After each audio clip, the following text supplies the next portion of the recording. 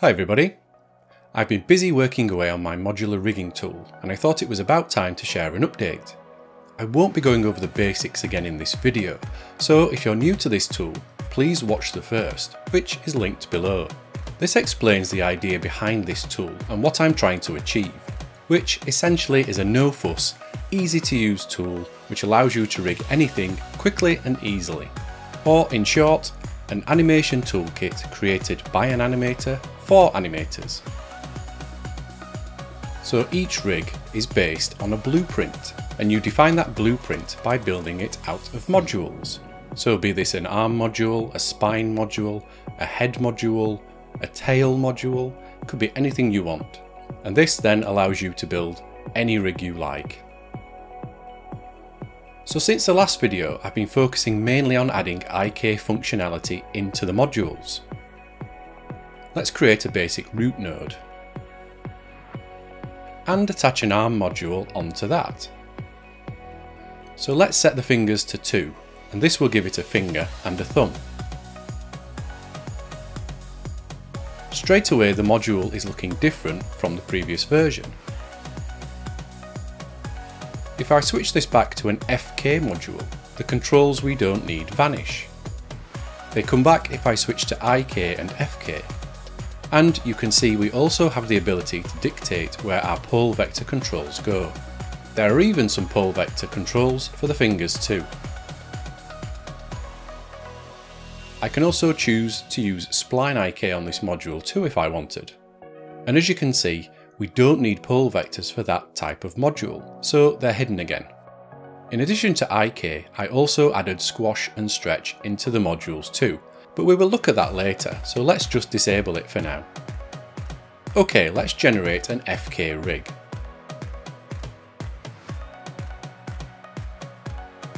And there we have basic FK controls. But what if we changed our minds and wanted to add IK too? we can simply go back and edit the blueprint. And then regenerate the rig. So now we have an IK arm with IK fingers as well. And we haven't lost FK either, we have the ability to blend back to that at any point.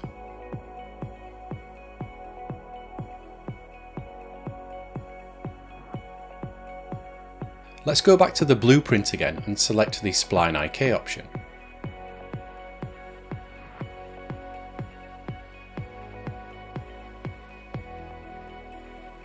And now we have Spline IK driving the arm. Now some of these options might not fit that particular module, but they are there if you need them, and you can quickly generate a different rig if needed. Now you'll notice at the moment, when we want to go back and edit the blueprint, we lose the skeleton.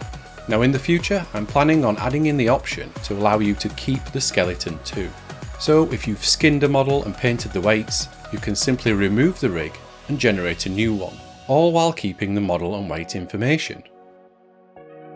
Okay, let's get back on track. Let's add squash and stretch back into the rigs now, and generate a basic IK arm. With any of these other options, so IK or Spline IK, you always have FK2. It's just added on top, so you'll always be able to blend between the two. So FK and IK, or FK and Spline IK.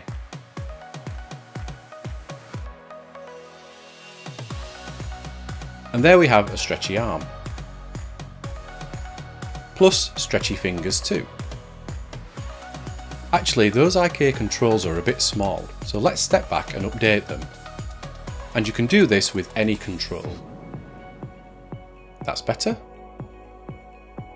You see, you can now choose a control style for both FK and IK controls. So the rig is fully configurable through the blueprint. Let's generate that. And there, those are much easier to select now. Just ignore those black locators, they should be hidden. The finger IK controls follow the wrist, but we have space swapping on them, so we can change them to be in world space instead and space swapping options are added automatically onto a lot of these elements and a lot of the blueprint parts. There's the option to adjust how stretchy that part of the blueprint is. And you can choose how it stretches. So it can stretch but not squash, squash but not stretch, and also do both. I also added in the option to globally enable or disable squash and stretch, just in case. Now depending on the engine you're using, you may not be able to use squash and stretch, so this way you can quickly disable it and then your animators don't accidentally use it. So that's now disabled on the whole rig. So as well as being able to define your own blueprints, I'm including some pre-made ones too, for some of the more common rigs and we did take a quick look at these in the previous video. As you can see, these look different to the earlier versions too, mainly due to the addition of IK. So as mentioned, you can choose what control shapes you want for IK and FK, or do it globally on the main module control. So the idea with these pre-made blueprints is you can quickly load them, move the locators to better fit your models, adjust the controls, and then you can generate your rig. So let's generate this rig now. And by default the limbs have IK plus are stretchy, and the spine uses spline IK.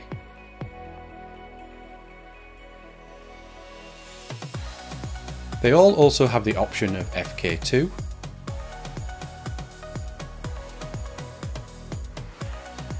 Looking at this now, the spine IK controls are too small and would likely be hidden by the model, so let's update them. As mentioned, we can change these independently, but let's do them all on the module control. So let's change them to the lollipop shape, so the control sticks out of the back.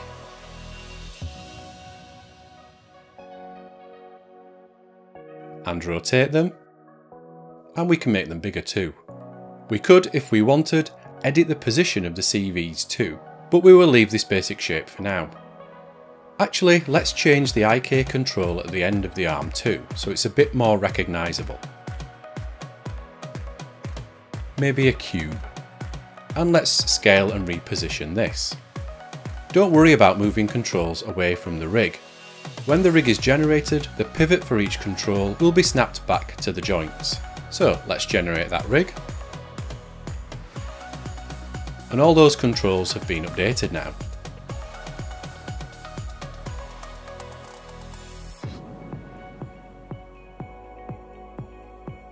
Pole vector controls also have space swapping too, so we could stop it following the hand. And instead let's have it following the root control. As mentioned earlier and in the previous video, the idea with this tool is to have all the configuration options on the blueprint, so you don't need to update or change the rig once it's been generated, hopefully saving you lots of time.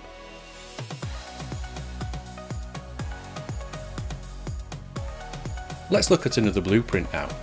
How about the canine?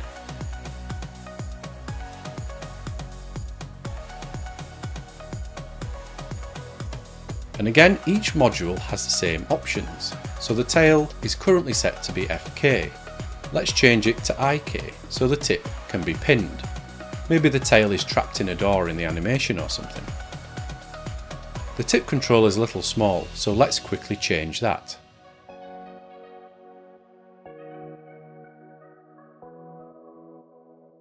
The spine is spline IK, which is fine.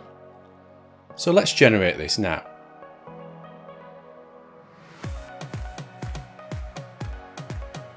And we have a quadruped rig. And look, we have IK on the tail too. If we test the spine controls, you see everything moves as it should. As you can see, this also has squash and stretch added too to make it a bit more flexible. Actually looking at it, the spine controls, just like with the biped before, are a bit small, so let's change them. Let's use circles instead here, and adjust the shape.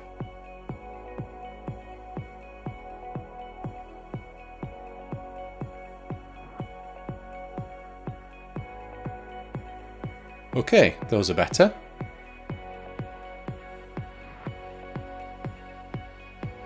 Let's look at the spider next.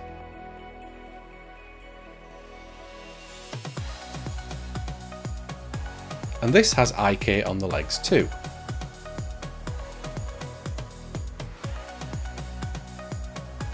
And in this version I've also added an octopus blueprint. This is mainly so I can work on the different limb types. Plus this will be a good test when I start adding in the ribbon based rigs. So at the moment the tentacles are basic FK limbs.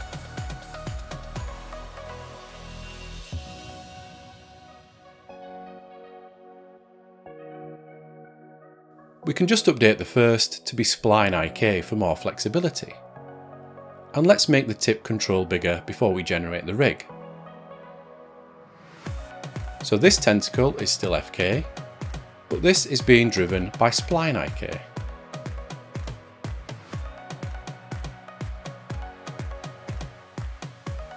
Okay, so that's just a quick update on where I am with this new tool. And if you join my YouTube channel, you can download this now and play around with it, or even use it on your projects.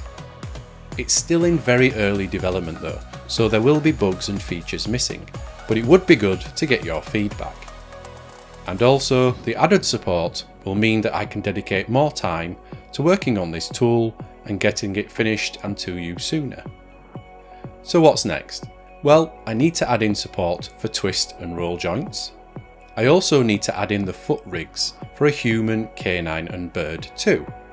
And then there's the face rig. I also want to add in rigs for other things like vehicles, wheels, pistons, anything like that. So I'm just trying to think of things that you may want to rig that I can create a module for which will just speed up the process for you. And it doesn't stop there though, as I also want to build on top of this a higher end rig, probably ribbon based, which can be used in production. Once that's done, I then want to create a suite of animation tools to help anyone who animates with these rigs. So as you can see, there's still lots to do. Well, thanks for taking the time to watch this video and stay right to the end. While you're here, why not check out some of the other videos and courses I have available.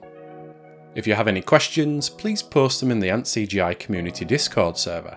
That's the best place to reach me, and if I'm not around, there are plenty of other talented people available to help. Remember to help support future content, like tools like this, and keep my videos and courses free, hit the thanks button below, visit the AntCGI store, or even better, join the AntCGI club. You can also treat me to a coffee at my Ko-fi page just to say thank you. The link is on the screen now and in the description below. Thanks again for watching, this is Ant CGI signing off and I will see you on the next one.